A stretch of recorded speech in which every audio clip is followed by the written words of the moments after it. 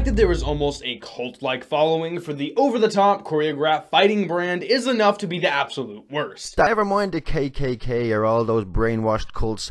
This guy treats WWE fans as a religious group. Show continued after he had died in the ring, and the audience never knew he had passed. Lies. We all know JR told the live television audience that Owen had passed away in the most somber terms possible. Also, it's hard to believe that the audience wouldn't have known something was wrong, considering they all saw Owen Hart fall from the rafters onto a turnbuckle. Never knew he had passed. Um, yes they did. Those who attended the event clearly saw him fall a long way down and land on the turnbuckle or ropes, one or the other.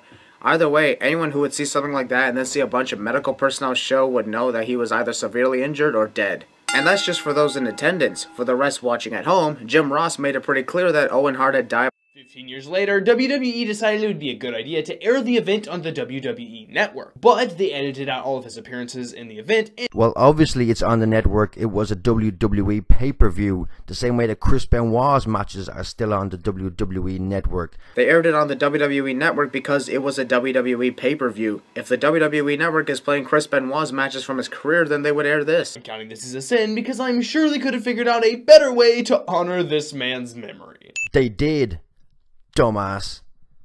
Better way to honor this man's memory. In the previous Sin video, this one, I mentioned that he was too lazy to research and made an assumption only, but let's not forget that they did have a better way to honor his memory. They paid tribute to him the next night called Raw is Owen. Did you not know about that?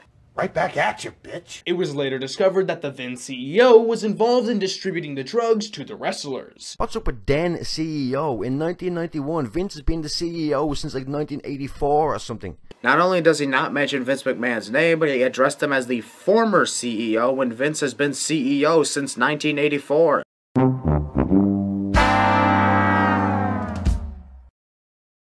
So that was a fucking lie. Despite the fact that this was definitely happening and probably still happening, And once again, we see how little research he's actually done into this video when he says, probably still happening today, even though any wrestling fan knows that there's a really strict wellness policy in place for the last five years. probably still happening, This dumbass obviously doesn't know about WWE's wellness policy and how strict they are about the usage of steroids for years. which gives the show almost as much credibility as ABC's The Bachelor.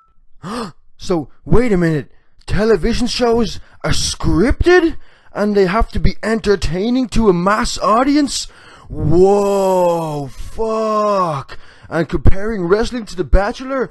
Oh my god, you might as well compare The Bachelor to any other television show ever, you fucking idiot, man. Hey buddy, get this. I heard a rumor about this TV show called The Walking Dead.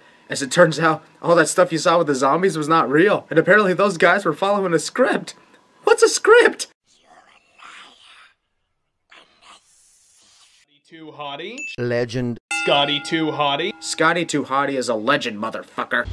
Are you mocking me? Stop it, you just did it again. He's trying to copy me.